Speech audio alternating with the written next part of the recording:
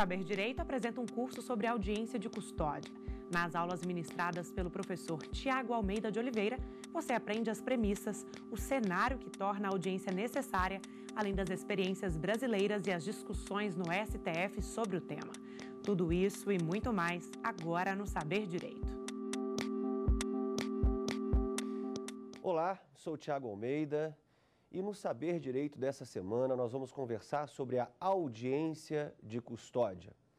Vários assuntos dentro da audiência de custódia serão abordados, desde as premissas, o contexto da audiência de custódia, ou seja, é importante examinar aquilo que faz com que a audiência de custódia seja necessária no direito processual penal, mas vamos examinar também outros pontos. Por exemplo, vamos entender os objetivos, as finalidades da audiência de custódia, tentar compreender a normatividade dessa audiência, ou seja, exatamente qual é ou quais as disposições da ordem jurídica que dariam sustentação à assim chamada audiência de custódia.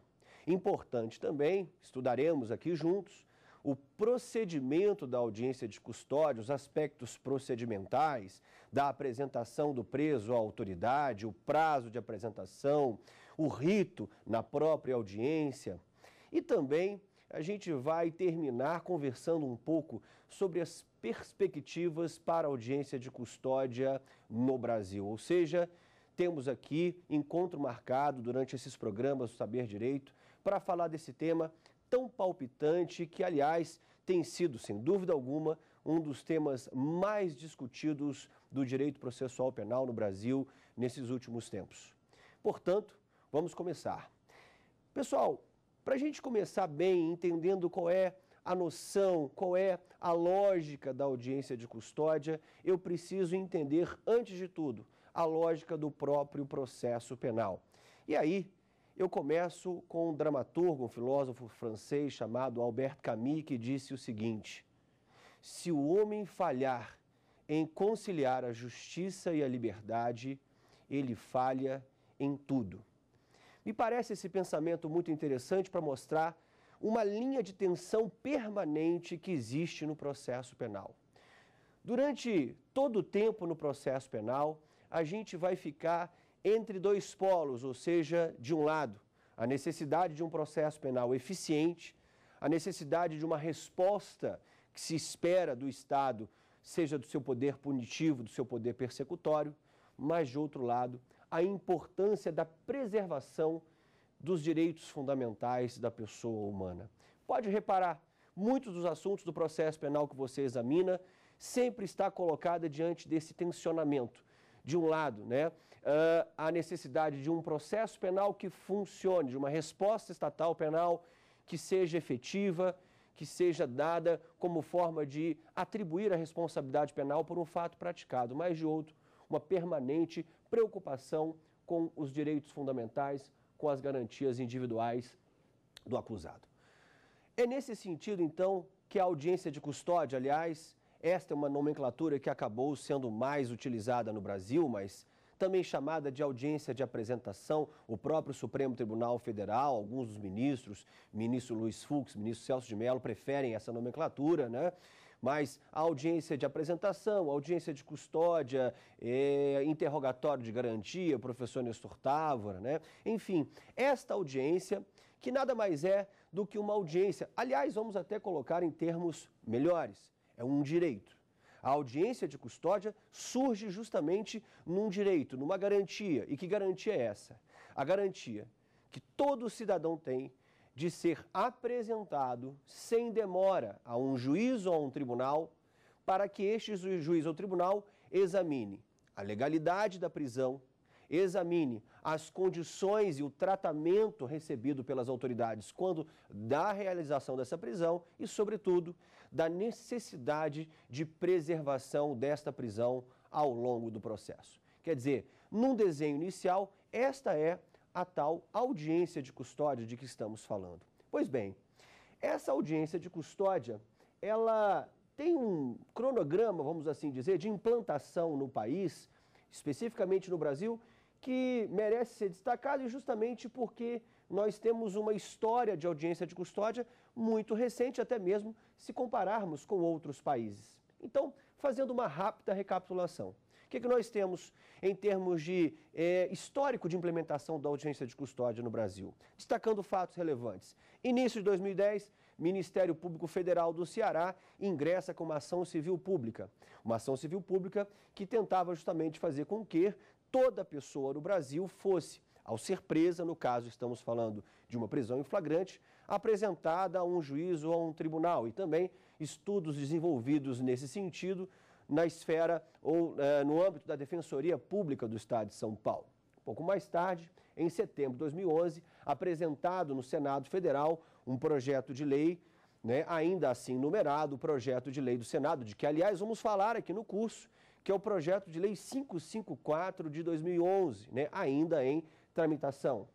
Em abril de 2014, um pouco mais tarde, o Estado do Maranhão regulamenta a sua audiência de custódia, ou seja, o Maranhão está na vanguarda dessa discussão no Brasil, sobretudo do ponto de vista da execução da audiência de custódia. Aliás, essa questão se passa muito em razão né, das dificuldades, das sensíveis dificuldades que se passam no sistema carcerário daquele estado, né, o caso de Pedrinhas, por exemplo, que levou até uma necessária intervenção da própria Corte Interamericana de Direitos Humanos em novembro de 2014. Né? Então, o Maranhão começa regulamentando essa audiência de custódia em abril de 2014. Em junho de 2014, uma nova ação civil pública, dessa vez proposta pela Defensoria Pública da União, também no intento de que fossem realizadas audiências de custódia em todo o país. Temos aí, então, em novembro de 2014, São Luís, no Maranhão, no Maranhão, como a primeira capital brasileira que vai implementar, quer dizer, regulamentou antes, mas em novembro de 2014 começam a funcionar as audiências de custódia em São Luís. Em dezembro de 2014, o que, que nós temos? A conclusão da assim chamada Comissão Nacional da Verdade, que vai recomendar em seu relatório final também a adoção das audiências de custódia. Repare bem que até esse momento a audiência de custódia ainda não é uma pauta nacional, por assim dizer. A bem da verdade, naquele momento, em 2014, ainda pouco se dizia. Se você, numa aula, falasse, e desde então a gente fala como professor, é, de audiência de custódia, né, nós é, muitas vezes estávamos surpreendendo. Os alunos não sabiam. Em geral, os profissionais de direito ainda não tinham conhecimento desse assunto. Mas aí né, a Comissão Nacional da Verdade, como a gente dizia, em seu relatório final, que faz 25 recomendações, né, uma delas é a adoção da audiências de custódia né, na questão criminal brasileira. Pois bem, em fevereiro, aliás, antes da questão de fevereiro, que é do CNJ, janeiro de 2015, o Tribunal de Justiça de São Paulo também regulamenta a audiência de custódia no seu provimento conjunto número 3. Este provimento conjunto número 3, conjunto, no caso, uh, presidência e corregedoria do tribunal, tentando também fazer com que essa audiência de custódia, ou seja, estabelecer no estado de São Paulo este direito de apresentação sem demora do preso a uma autoridade eh, judicial. Pois bem, um mês depois, em fevereiro de 2014, nós temos a o projeto Audiência de Custódia no âmbito do Conselho Nacional de Justiça. E a gente aqui tem um marco muito importante nesse nosso cronograma de implementação da audiência no Brasil. E por quê? Porque em fevereiro de 2014, o CNJ, né, em conjunto com o Ministério da Justiça e o próprio TJSP, que já tinha ditado seu provimento conjunto em São Paulo é, é, é, em janeiro, né, um mês antes, eles estabelecem o assim chamado projeto Audiências de Custódia. E a ideia era justamente trazer para perto todos os tribunais da federação para que então esta fosse uma iniciativa conjunta, né? ou seja, que o judiciário brasileiro como um todo né, se integrasse a esta necessidade de apresentação do preso ao juiz é, como o estabelecimento de uma garantia fundamental do nosso processo penal. Então, em fevereiro de 2015, nós temos o projeto Audiência de Custódia, mas nós temos ainda em fevereiro de 2015. Isso é muito importante, aliás, haverá um momento em que nós vamos discutir isso aqui Em fevereiro de 2015, mesmo mês em que é implementado esse projeto audiência de custódia no âmbito do CNJ, é proposta uma ação direta de inconstitucionalidade, a ADI 5240, proposta pela ADEPOL, Associação Nacional dos Delegados de Polícia, questionando justamente o provimento conjunto número 3 do Tribunal de Justiça de São Paulo, né? E questionando esse provimento, nós teremos aqui, ao longo dos nossos programas, a oportunidade de especificar e detalhar melhor esta ação, questionando a audiência de custódia do ponto de vista de vício de iniciativa e também questionando o fato de que ela teria, regulamentada pelo CNJ, criado obrigações para outros poderes em violação à separação de poderes. A gente poder discutir como é que isso foi é, recebido e como é que foi é, tratado pelo próprio Supremo Tribunal Federal. Mas em fevereiro, então, esta ação, a ADI 5240, questionando a audiência de custódia. E em agosto de 2015, na verdade, em maio de 2015, um outro fato importante também, a propositura da DPF 347, que pede a declaração do estado de coisas inconstitucional do sistema carcerário brasileiro. E aí, no bojo dessa DPF também falaremos de audiência de custódia. Aliás, o Supremo deferiu medida cautelar no bojo dessa ação, fixando é, a necessidade de realização de medidas cautelares. E, pois, muito bem, nesses dois processos do Supremo Tribunal Federal, em relação à DI 5240, julgada, in, julgada improcedente em agosto de 2015, teremos oportunidade também, aqui no Saber Direito, de especificar essa decisão do Supremo, mas o fato é que aquela ação que buscava a declaração de inconstitucionalidade do provimento número 3 de São Paulo, que determinava a audiência de custódia, na verdade, o Supremo entende que não há inconstitucionalidade neste provimento, isto em uh, agosto de 2015, e em setembro de 2015 nós temos a decisão naquela segunda ação, a arguição de descumprimento de preceito fundamental número 347. E neste caso, né, deferindo uma das cautelares pedidas na inicial, o Supremo determina em âmbito nacional a realização da audiência de custódia. Tenho para mim que este é o marco fundamental da implementação da audiência de custódia no Brasil, pelo menos em esfera nacional. E por quê? Porque o Supremo Tribunal Federal, ele ao deferir essa medida cautelar, ele determina, e aí já não mais uma questão regionalizada, mas em âmbito nacional mesmo, que juízes e tribunais né, tenham contato com a pessoa presa. No caso, num primeiro momento, falaremos em prisão em flagrante. Então, estabelecemos, a partir daí, em especial dessa decisão do Supremo, esta nova realidade. Em dezembro de 2015, temos a edição de uma resolução do Conselho Nacional de Justiça, Afinal de contas, se nós passamos a fazer com que a audiência de custódia seja uma realidade nacional, passamos a ter uma questão a ser resolvida também. E a questão é: será que cada juiz vai fazer a sua maneira, vai fazer diferente, vai fazer a sua forma? Então, justamente no intuito de uniformizar procedimentos, é editada a resolução 213 do CNJ em dezembro de 2015. E aí, então, nós temos o que? A resolução 213 entrando em vigor em fevereiro de 2016 e, particularmente naquilo que diz respeito à necessidade da audiência de custódia a ser executada em todo o país, nós temos a entrada em vigor propriamente da audiência de custódia em maio de 2016. Portanto, como você pode observar, uma realidade relativamente recente. Pois muito bem. Então, é justamente neste ritmo né, que a gente vem trabalhando com esta audiência, que eu não tenho dúvida alguma em dizer para você. A audiência de custódia é, tenho usado muito essa palavra, um marco humanizatório e civilizatório do processo penal.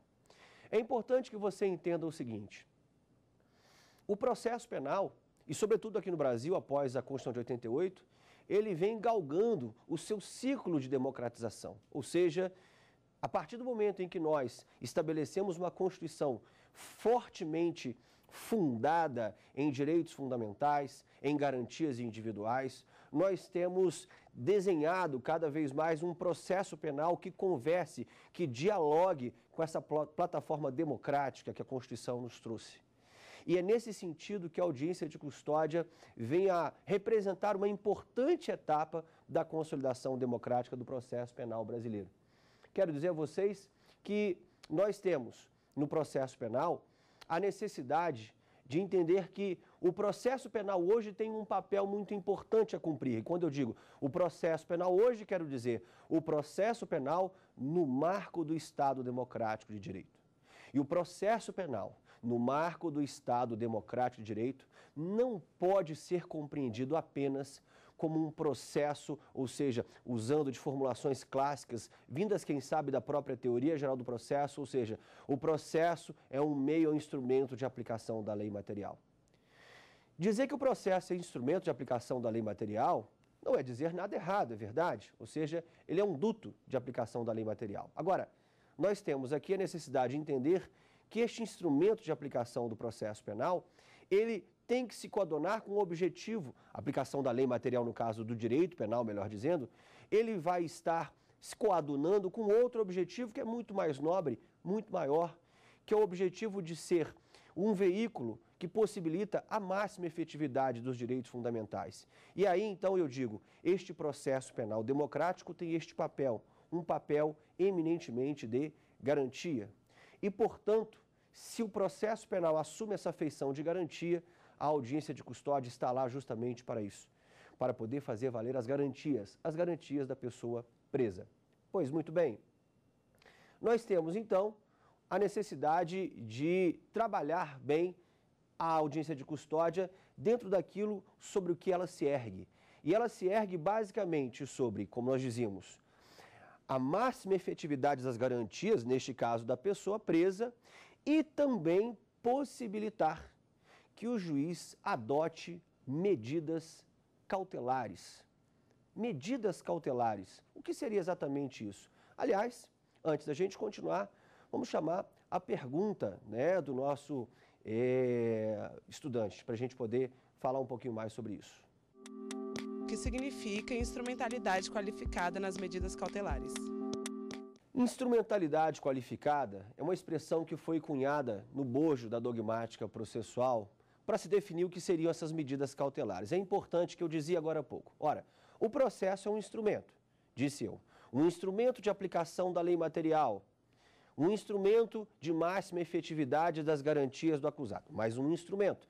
O processo não é um fim em si mesmo. Esta é uma formulação clássica. Acontece que esse instrumento, processo, ele precisa de outros instrumentos, muitas vezes, para se proteger contra investidas contra certos comportamentos do processado, do acusado, enfim, que possam colocar o resultado ou a eficiência deste processo em risco. Vamos dar um exemplo. Imaginemos que a prova do processo corre risco, né, exatamente porque, por exemplo, o acusado pretende destruir a prova do processo.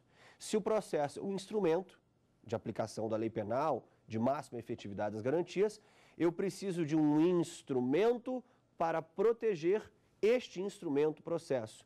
E este instrumento de proteção são exatamente as medidas cautelares. E daí, né, a clássica formulação de Calamandrei de que o processo é um instrumento do as medidas cautelares, melhor dizendo, são um instrumento do instrumento. Uma instrumentalidade ao quadrado, como se dizia, ou teria então uma instrumentalidade qualificada. Pois muito bem, Repare então que nós temos esses dois eixos. A audiência de custódia para assegurar garantias da pessoa presa e para que o juiz possa adotar medidas cautelares. Aliás, num caso julgado pela Corte Interamericana dos Direitos Humanos, Tibi versus Equador, é exatamente isso que disse a nossa Corte Interamericana.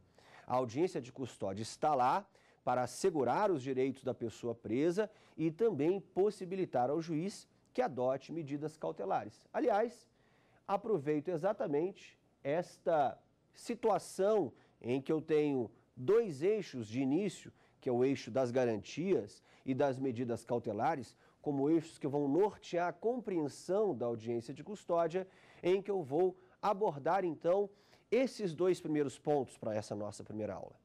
Se a audiência de custódia é garantia e proteção ao processo, se a audiência de custódias é, é olhar para os direitos do preso e também olhar para as necessidades do processo, eventualmente protegendo a eficácia e o resultado desse processo e, através de medidas cautelares, estão aí, quem sabe, dois ótimos assuntos para a gente começar.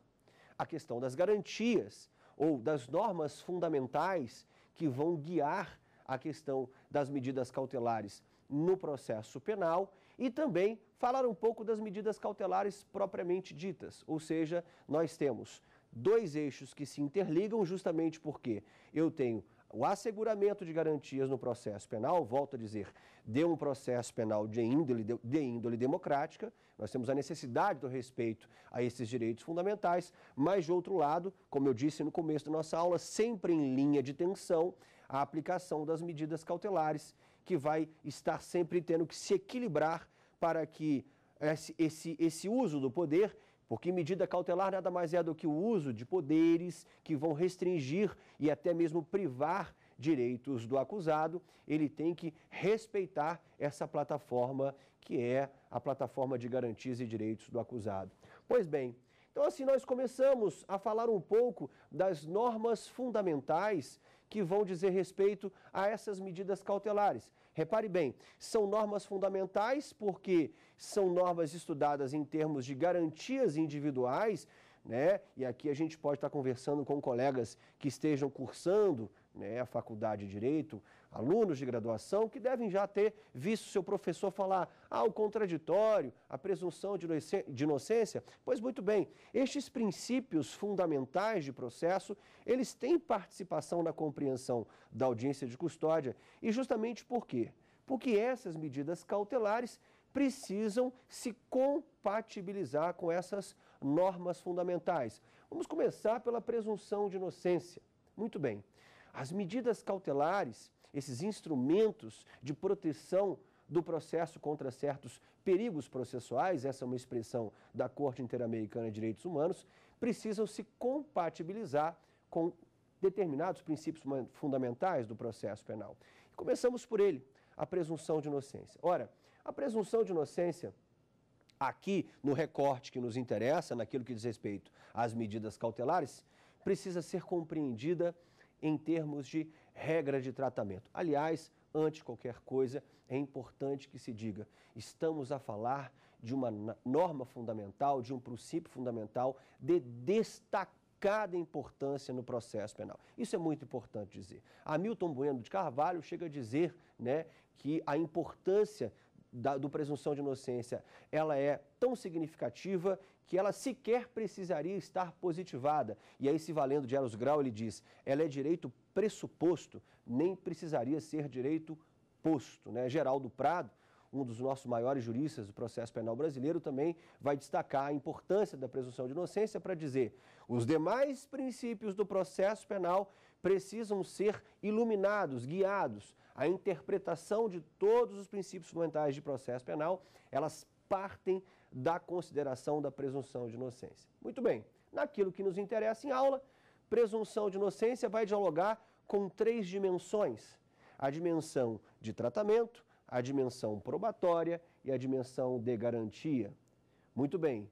Vamos começar pela dimensão probatória, vamos terminar com a dimensão de tratamento, que é aquela que nos interessa mais de perto. Ora, na questão da dimensão probatória, a presunção de inocência permite estabelecer determinadas regras probatórias para o processo penal, em especial o chamado ônus da prova subjetivo, concluindo que no processo penal o ônus da prova está depositado sobre a acusação, e o ônus da prova objetivo, que é uma regra de julgamento, aquilo que nós conhecemos como indúbio pro réu, ou seja, se eu tenho um processo penal que está erigido sob a presunção da inocência, o acusador tem o ônus da prova e, em caso de dúvida do julgador, a decisão deverá ser em favor do acusado.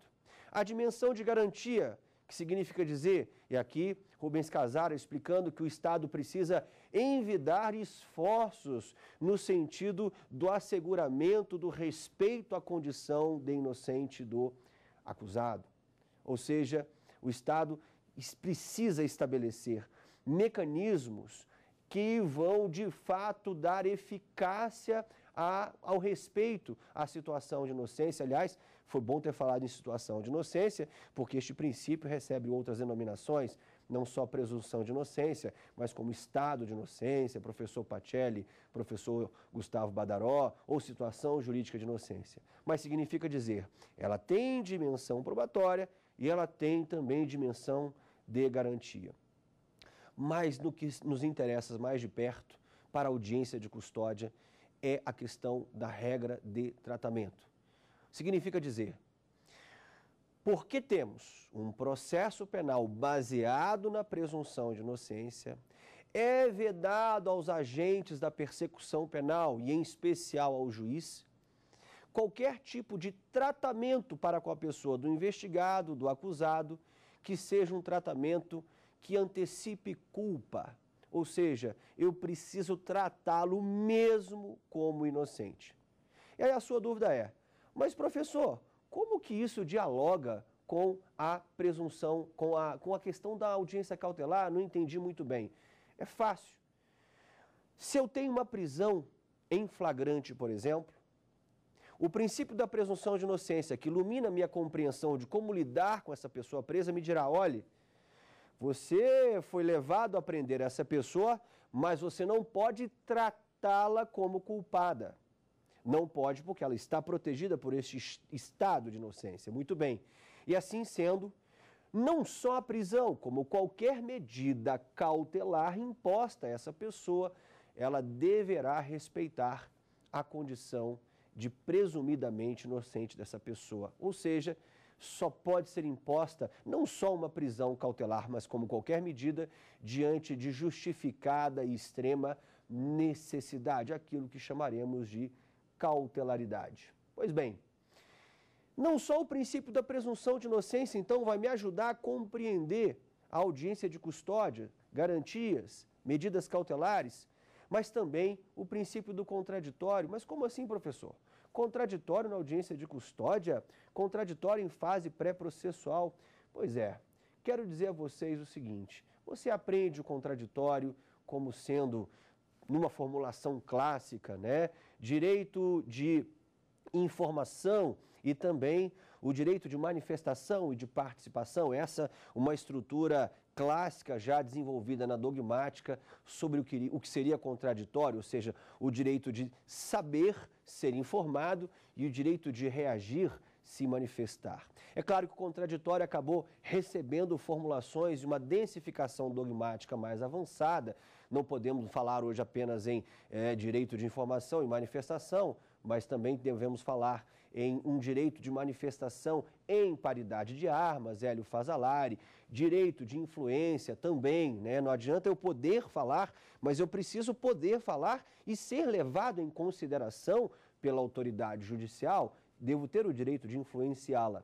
Mas naquilo que nos diz respeito à audiência de custódia, vem realizar uma coisa muito importante em termos de contraditório, que é o direito de audiência, o direito de ser ouvido. Nós precisamos ouvir a pessoa presa. E aqui, quando eu digo nós precisamos ouvir o preso, eu quero dizer não só a autoridade policial, porque já está no artigo 306, que na própria lavratura do auto de prisão em flagrante, 306 do Código de Processo Penal, que na própria lavratura do auto de prisão em flagrante, nós temos aí justamente é, a tomada das declarações do preso, mas não. Nós temos ele como um princípio que vai determinar o direito de o preso ser ouvido pelo juiz. E aí a audiência de custódia vem a calhar. É a oportunidade que o juiz terá de ouvir e tomar as declarações do preso. E aqui sejamos muito objetivos. Não podemos nos assustar com a história do contraditório na fase pré-processual, em especial nas cautelares. Nós tivemos uma reformulação né, uma reforma do Código de Processo Penal em 2008, que inscreveu no artigo 282 deste Código de Processo Penal um parágrafo, que é o parágrafo terceiro, que vai dizer, né, respeitando-se, é claro, situações de urgência ou risco de ineficácia da medida, o contraditório deve permear a decretação de cautelares. Significa dizer, se o juiz visualiza que aquele sujeito que foi preso em flagrante, ele poderia ter que estar sujeito a uma medida cautelar, tudo bem, mas ele precisa ser ouvido, de preferência antes dessa decretação. Então veja, eu tenho aqui uma audiência de custódia realizando a presunção de inocência ou fortalecendo a presunção de inocência, justamente porque eu permito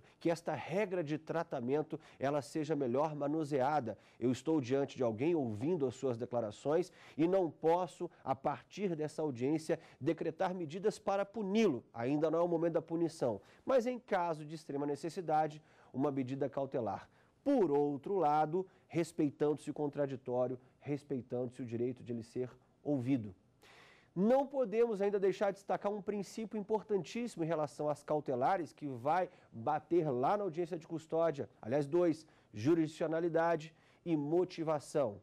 Jurisdicionalidade, reserva de jurisdição. Pessoal, medidas cautelares são invasões severas a direitos fundamentais. Nos sistemas de justiça democráticos, quando você tem uma severa invasão a direitos individuais, à intimidade, a outros direitos individuais, você submete o controle dessa invasão a autoridades judiciais, a juízes e tribunais. E não à toa, essas medidas invasivas, como a interceptação telefônica, a própria prisão cautelar e tantas outras, estão sujeitas à ordem prévia. E além dessa questão da jurisdicionalidade, restringir as medidas cautelares ao juiz, nós temos a questão da motivação. E essa é uma questão muito importante, quero dizer para vocês. Na medida em que eu restringo, quem sabe privo o indivíduo dos seus direitos fundamentais, a bem de preservação do processo, eu tenho com isso, como dizia Alex, um ônus argumentativo, ou seja, eu preciso fundamentar aquela medida invasora de direitos fundamentais. Aliás, quero aproveitar a oportunidade para dizer: fundamentar, pessoal, não é só descrever o artigo de lei em que eu amparo aquela minha decisão, não. Muito bem vai o novo CPC em seu artigo 489, parágrafo 1 para dizer: a fundamentação idônea é aquela que parte para o exame concreto, não bastando mera repetição de dispositivos legais. Preciso dizer que, infelizmente, no processo penal, nós vemos cautelares, às vezes decretadas, como de acordo com o artigo 312, a bem da ordem pública, a bem da conveniência, ok, isso é repetição de texto de lei. E aí vem então o Supremo Tribunal Federal, algum tempo, trabalhando com o princípio da individualização da prisão. Mas antes da gente falar desse princípio, né, a gente vai ter aí mais um questionamento importante. Vamos lá. Do que se trata o princípio da individualização da prisão? Justamente do que falávamos. Princípio da individualização da prisão. Aliás, não só da prisão, princípio da individualização das cautelares como um todo. Ora, é justamente isso do que estamos falando. Quando uma autoridade judicial determina uma medida cautelar, ela está restringindo ou, quem sabe, privando direitos fundamentais, como a própria liberdade, a prisão cautelar, ela tem que individualizar aquele seu ato decisório, o que significa dizer, ela precisa apontar concretamente aquela medida de modo a dizer por que, que aquele caso concreto enseja uma medida que, por ser invasora de direitos fundamentais, ela deveria ser reservada para hipóteses excepcionais. Então eu vou dizer, não, individualmente, neste caso, temos a necessidade de uma prisão por isso e por isso e por isso. Individualmente, neste caso, temos a necessidade de um monitoramento eletrônico ou uma de recolha de passaporte por isso e por aquilo. Então, este é o princípio. O juiz, ele deposita um ônus sobre a decisão judicial. Juiz, argumente individualizando a prisão, ou seja, determinando aí, fazendo constar em sua decisão o que, que exatamente o caso concreto está indicando e que te faz suspeitar da necessidade da decretação de uma medida cautelar. Isso é muito importante. Eu quero insistir nisso. É caso de insistência, sim. A medida cautelar ela é um expediente que vai restringir ou, quem sabe, até privar direitos, direitos que têm uma proteção constitucional destacada. Então, do lado de cá, a contraprestação que se pede do juiz é, então, embase bem a sua decisão, não apenas apontando na ordem jurídica, onde está previsto o artigo de lei, onde você está se baseando, mas, sobretudo, dizendo qual é a situação concreta, qual é o perigo processual né, para usar a expressão da Corte Interamericana, ou na expressão é, consagrada, professor espanhol Pedro Aragonés Alonso, ou seja, qual é o periculum libertatis, o perigo da liberdade, por que, que este sujeito livre está me trazendo o perigo, mas olhando sempre para os delineamentos do caso concreto. Daí então a ideia de individualizar não só a prisão, repito, mas como a decisão que decretar qualquer medida cautelar. Seguimos com alguns outros princípios importantes para que a gente compreenda essa dinâmica, o princípio da provisoriedade. Provisoriedade que vai estar muito relacionada à questão da duração razoável do processo, do direito a um processo sem dilações indevidas, para dizer, se eu tenho nas medidas cautelares privações e restrições sérias a direitos fundamentais, ela tem que ter hora marcada para acabar. Ela precisa de provisoriedade, o que significa dizer, ela não pode se prolongar indefinidamente no tempo. Aliás, ela tem que ser o quanto mais breve possível para que eu possa não me exceder naquela restrição de liberdade para além do necessário às necessidades processuais ou quem sabe até da investigação. E por isso mesmo, nós temos aí, vamos falar muito nessas nossas cinco aulas, da Resolução 213 de dezembro de 2015 do Conselho Nacional de Justiça. E a Resolução 213, ela tem preocupação com a provisoriedade justamente no momento em que ela estabelece a necessidade, que aliás já defendida há muito tempo, o professor Auri Lopes Júnior já há muito tempo defendendo essa questão da provisoriedade, que significa dizer, em primeiro lugar, nós temos que ter um prazo de duração de medidas cautelares. Vejam bem, colegas, nós não temos ainda na legislação processual brasileira codificada, no nosso CPP, um prazo de prisão preventiva. Como fazer? Como acreditar num compromisso verdadeiramente democrático sem ter um prazo de prisão preventiva máximo determinado, ainda que fosse, vamos conversar, ah, 360 dias? Não, não sei, 180. Né? Há casos na Europa, em Portugal, por exemplo, você tem prazos maiores para crimes mais graves, mas precisamos de prazo. E não só isso, a necessidade de reavaliação, ou seja, prazos também em que eu possa reavaliar aquela cautelar. Dizia eu que a resolução 213 em CNJ, do CNJ de 2015, em boa hora, vem trazendo nos seus artigos 9 e 10 a questão né, da provisoriedade, ou seja, do estabelecimento de prazo para as cautelares, e aí a resolução dá um destaque especial para o monitoramento eletrônico, e também aí a questão de prazo para reavaliações das cautelares, até porque pode chegar um momento em que o juiz perceba que a cautelar não é mais necessária. O que nos conecta a um outro princípio, que é o princípio da provisionalidade. Ora, o princípio da provisionalidade, ela vai nos remeter ao caráter situacional das cautelares. Mas, professor Tiago, o que, é exatamente o caráter situacional das medidas cautelares?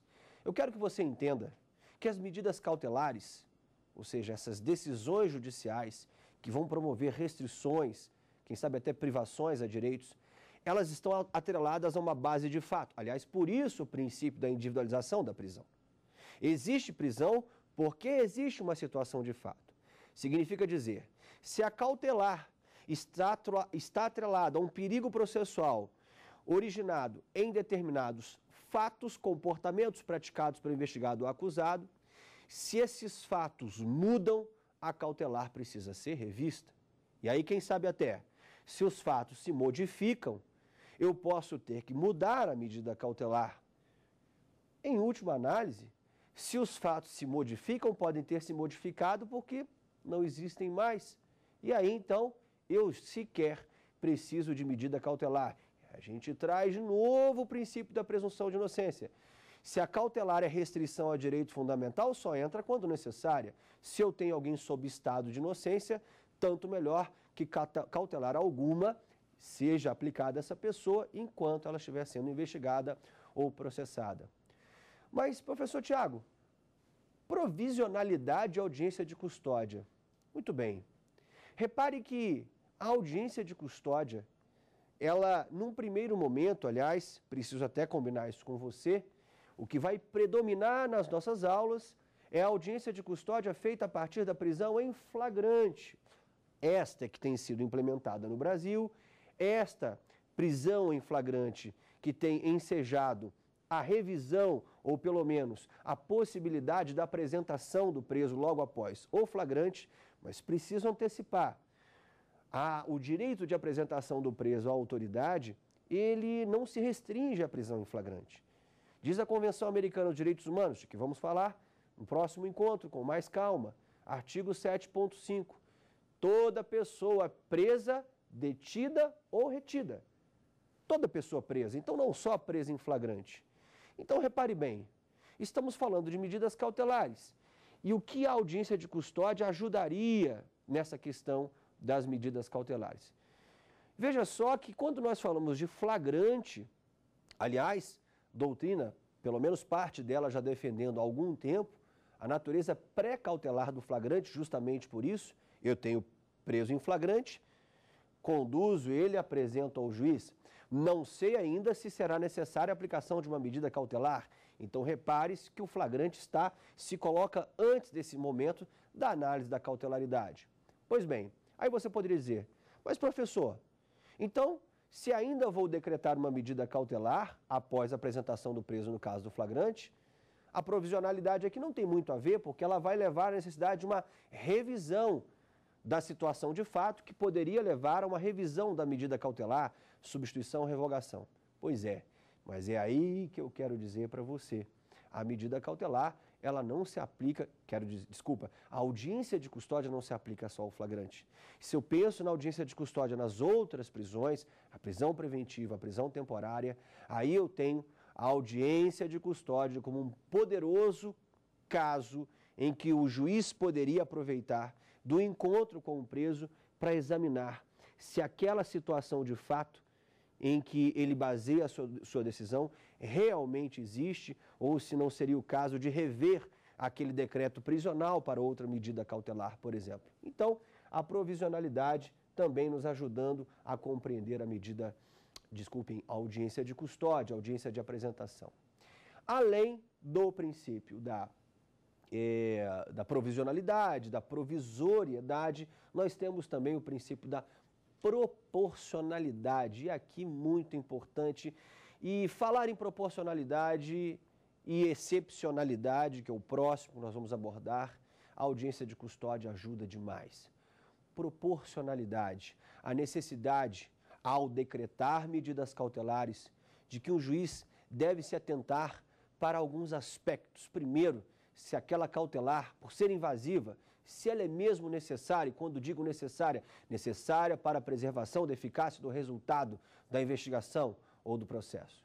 E mais, ainda que necessária, precisamos nos perguntar: qual seria, diante dessa necessidade, a medida mais adequada?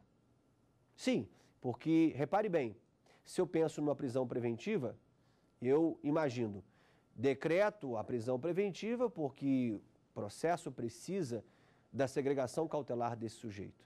Mas eu poderia fazer um segundo questionamento.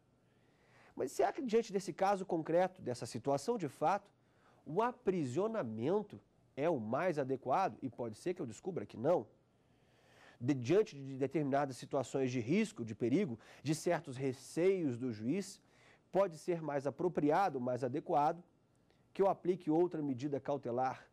Isso me remete a um outro juízo que o juiz deverá realizar, que é o de proporcionalidade, aqui em sentido estrito, é claro, que significa dizer: bom, eu poderia matar todos os problemas com a prisão preventiva, a prisão preventiva, pelo maior rigor que ela tem, ela me preveniria contra qualquer prejuízo, atentado, perigo, risco que o acusado traz ao processo.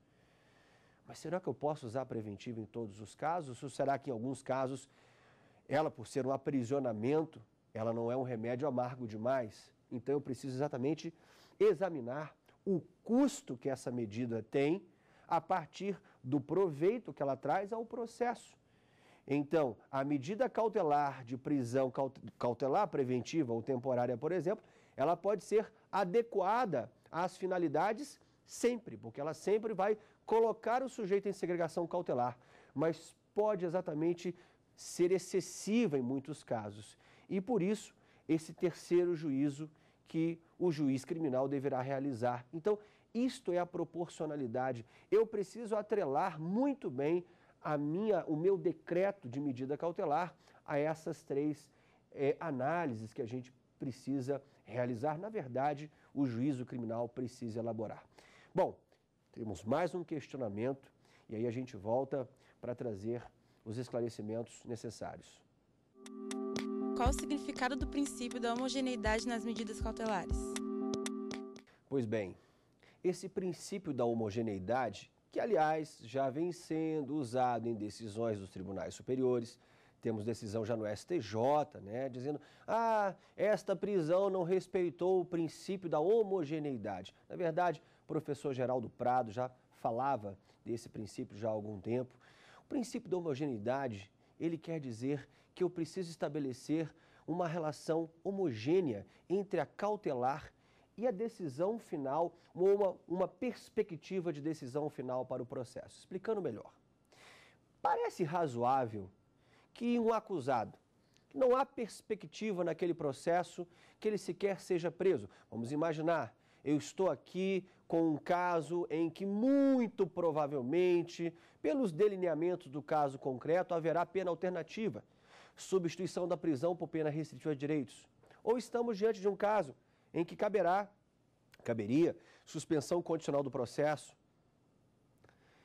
ou então, mesmo que se fosse aplicada a pena, né, não teríamos lá uma pena de prisão, teríamos substituição. Quero dizer o seguinte: fazendo esse exercício prospectivo de uma pena que provavelmente será aplicada pelo conjunto dos fatos que são trazidos naquele caso, é razoável que ao longo do processo, ou quem sabe até antes do processo, na fase de investigação, que o sujeito sofra uma medida cautelar com maior rigor do que seria a própria pena. Vamos lá novamente.